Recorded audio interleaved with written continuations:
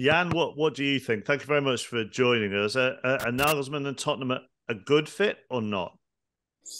Well, I think what Rafa's saying is there's something with with Germans going to English football. There is something romantic. There is someone coming home. Football's coming home. Even a German can say that. Uh, but yeah, I I got a feeling yesterday when I saw Conte was fired. I was I was tweeting saying that Nagelsmann was fired because Tuchel was available, and now Conte was fired because Nagelsmann was available, but it was not it was not to be. So no, I'm I'm it it can happen uh, because I think for for Nagelsmann, I always use that Formula One uh, metaphor with there has there, there have to be seats available for him. Where should he go at the moment? He won't go to any German club, that's for sure. Uh, Real Madrid, I think that Real Madrid, if if if their reputation is broken for him or is something damaged with him, is that he he can't handle a big star. So say that is a saying for Nagelsmann. So and maybe there is, is also the feeling that that he could not get Müller and Neuer and all the old boys out? So then he's going to Real Madrid with Toni Kroos, with with Modric, with Benzema. I don't think so. I think that then he need more experience to get that. So he can end up in in summer with with seeing the options, the seats available, and maybe Tottenham will will be the the best for him. And uh, I, I was in a discussion yesterday with a friend of mine, and we we discussed I, have followed Nagelsmann since Alex Rosen said at Hoffenheim. I played with him in Hoffenheim. He said, "We got this guy. He's 27. He's the best you'll ever see, and he will be turned into a fantastic manager."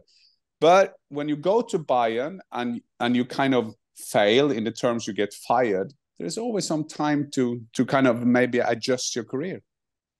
What what type of character is he, Raf? Because at the age that he is, the the assumption is he should actually relate to players very well, given given how young he is.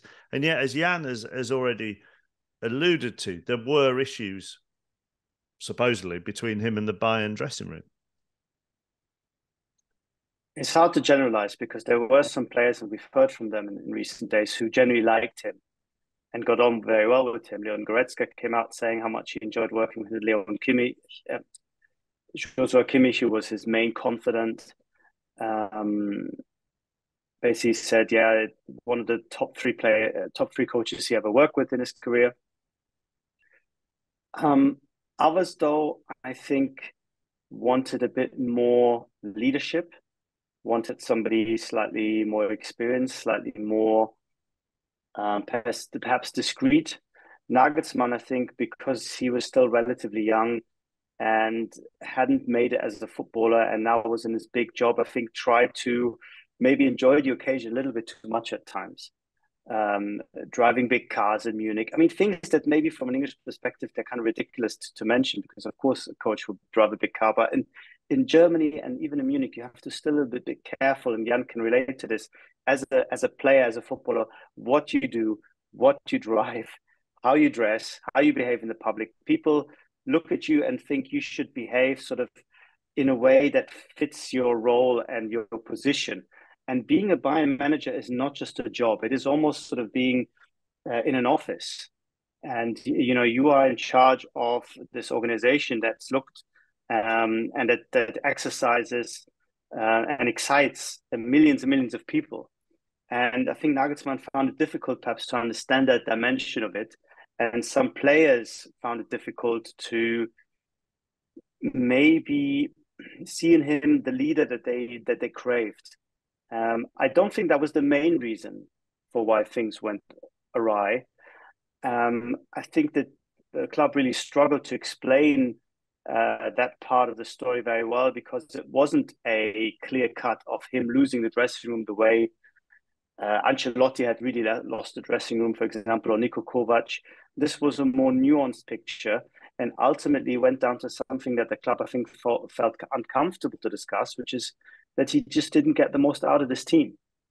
Um, and they wanted to be nice, I think, about him as a coach and didn't want to say anything bad about his the way he did his job.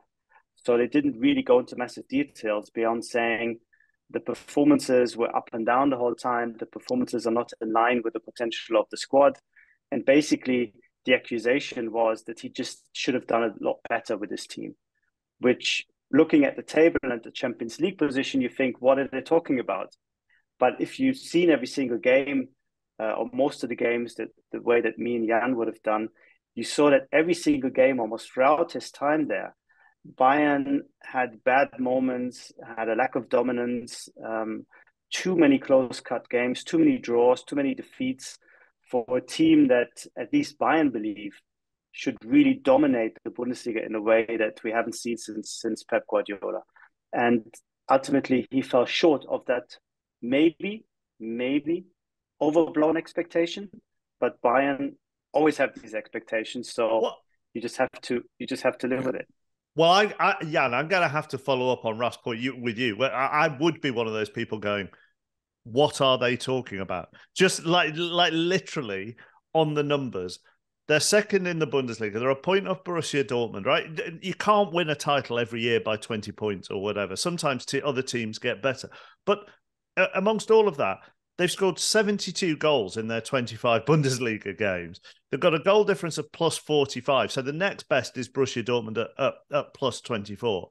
And they're in the quarterfinals of, of the Champions League, having knocked out Paris Saint Germain. I mean, what more is wanted? Yeah, I think it's it's hard for Rafa and me to find the right words to explain the position. No, the position of Bayern because Bayern is so much more than a football club. There are some football clubs who try to have that motto, and then there are like proper corrupt clubs like everybody else. But having said that, uh, it's the fact that Bayern. I was thinking of is I was following. I, I saw them. I saw. Uh, uh, the uh, the press conference and I went into I saw the whole over again because it was quite interesting to see how do we do the analysis of Bayern? Because Bayern is the, maybe the biggest brand Germany got. And may they compete with Adidas and Hugo Boss and all those kind of, of brands. And then I was thinking when I, I was looking at Oliver Kahn and Salihamidzic, in my opinion, doing a communication job that was not even close to Conference League. And that is something that we have to understand with Julian Nagelsmann. So if you come into Bayern, it's a, it's a family club in all terms because Uli Hoeneß has been there since he was 27. Karl-Heinz Rummenigge has been there. They're always looking for former players, a model I love. The CEO is Oliver Kahn, a Bayern legend. Salihamidzic played at the club. They had Kovac. They had a lot of uh, of, of former players in the special position. But to be the coach of Bayern Munich is so much more than just being a football coach. It's so much more than have football results.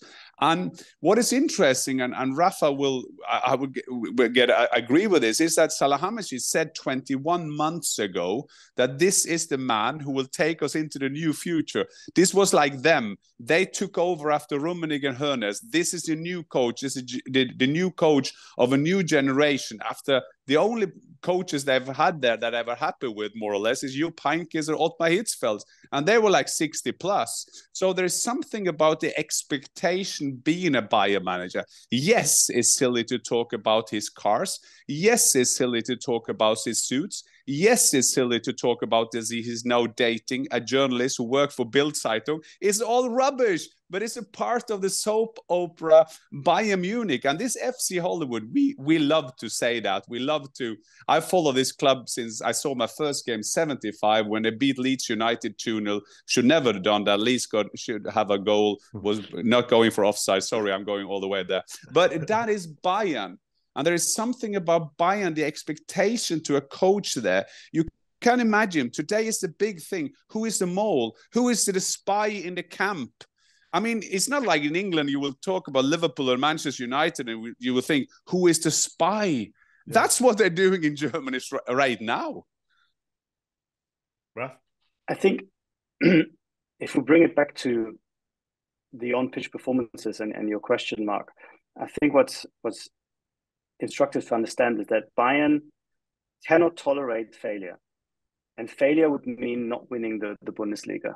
That would seen as that would be seen as an absolute disaster. When it last happened in 2012, and Bayern also finished runners up in the in the cup and the Champions League, Jupp Heynckes came very close to resigning because he felt the club don't really fully trust me. In the end, it went a very different way.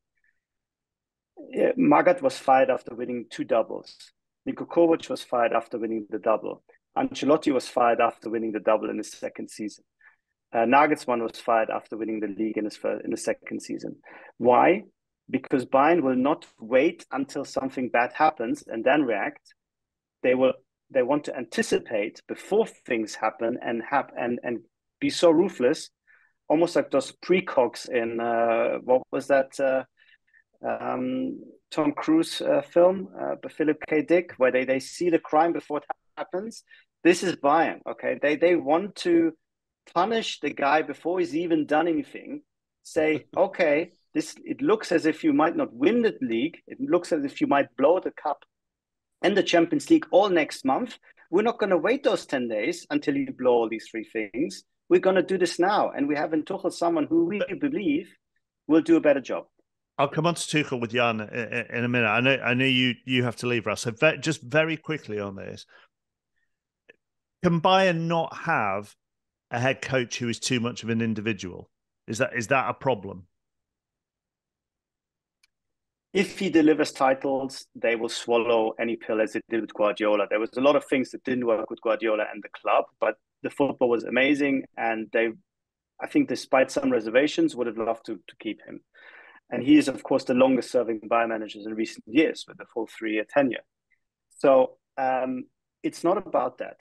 It's about winning, and then everything is on top. But Nagelsmann's problem, and I think in that respect, they were factually correct, was that you had these up and down periods. Every season, um, every half of the season had a period where suddenly Bayern don't win four or five games. And that makes the whole club super nervous. They just cannot handle it. And their reaction is always, okay, who is the other guy we can get in that makes sure we won't have these terrible four weeks where we don't win? And because Tuchel was available, and I think that is key, they were felt comfortable pushing the button. If there's no Tuchel in the background, I think they will continue to say we're backing Julian and whatever, and maybe see what happens. But because Tuchel was available now, this happened now.